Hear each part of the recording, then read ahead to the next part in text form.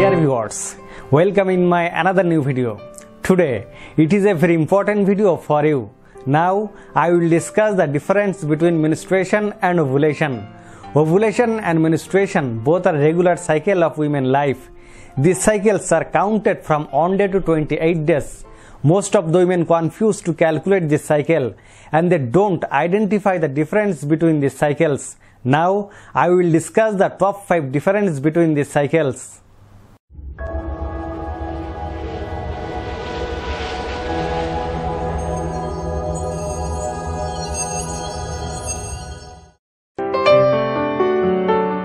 Ovulation happens when eggs are released from your ovaries to be fertilized. This process starts during the middle stage of the women's cycle. Women's cycle is 28 days, but it can also be 27, 29 or 30 days. Menstruation means period cycle. Length of the cycle is 28 days, but it also can be 27, 29 or 30 days. Women discharge bleeding in the period time and this bleeding stays normally 5 to 7 days. Normally, ovulation dates start in the 15 days of women's cycle.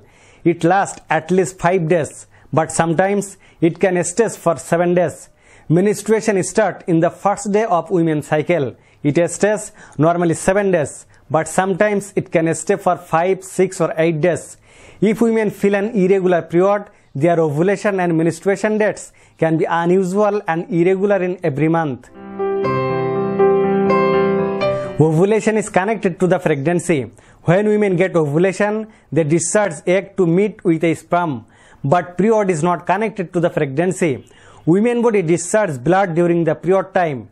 If a woman contact with her partner during ovulation, she can be pregnant. But if a woman contact with her partner during period, she cannot be pregnant. Women experience a few common symptoms in their ovulation and menstruation time.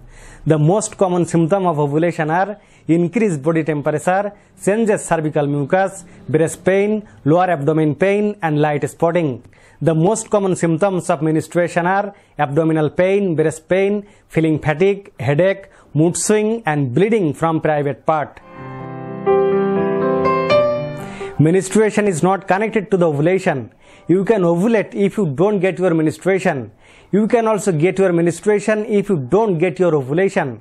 On the other hand, you can also get your ovulation without the symptom, but bleeding is the compulsory symptom for menstruation.